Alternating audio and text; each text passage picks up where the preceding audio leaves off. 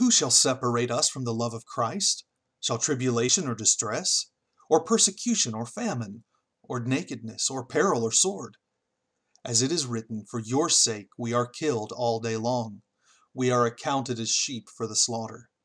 Yet in all these things we are more than conquerors through him who loved us.